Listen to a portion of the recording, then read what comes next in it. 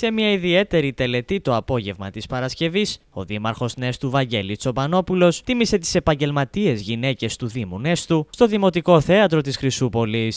Θέλοντας ο Δήμαρχός μας να τιμήσει τις γυναίκες του Δήμου μας, οι οποίες ξεχώρισαν με το αξιόλογο επαγγελματικό τους έργο, καθώς και την κοινωνική τους προσφορά, διοργανώνει τη σημερινή εκδήλωση, η οποία είναι αφιερωμένη σε όλες τις γυναίκες. Χρόνια πολλά λοιπόν, σήμερα Παγκόσμια ημέρα της γυναίκας. Δύο κουβέντες από μένα μόνο για να δώσω τη σειρά μου και στον ομιλητή αλλά και στην ορχήστρα.